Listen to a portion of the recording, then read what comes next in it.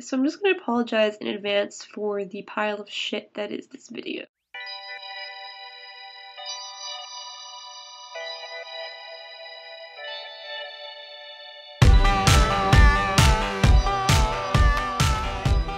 This is what happens when I don't wear a hat on Thursdays. Okay, so this week's theme was websites that we recommend that are Facebook and Tumblr and stuff that also falls under that category of shit that everybody does. Basically, I do not go on any websites other than those. There's a website that I kind of go on very occasionally, rarely, that I guess I would recommend to you guys. I think I already mentioned it during book week, or I intended to mention it during book week and didn't. It's goodreads.com. It is a book recommendation website community thing, and you can go in and basically check off and rate all of the books that you have read, and then it will basically recommend you books based on what you have read and what you've liked out of what you've read. Like, hold on, my guinea pig is stuck.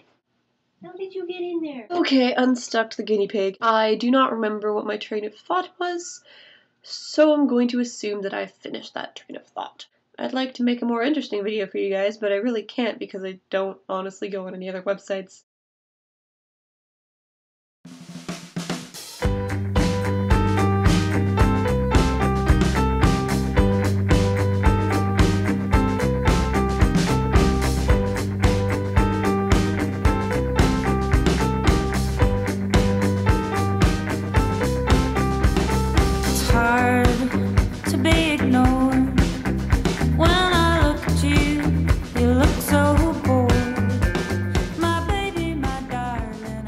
else to say hi to. My immune system has decided to go on strike.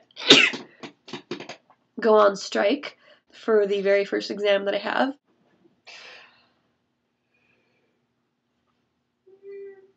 I don't want to have exams anymore.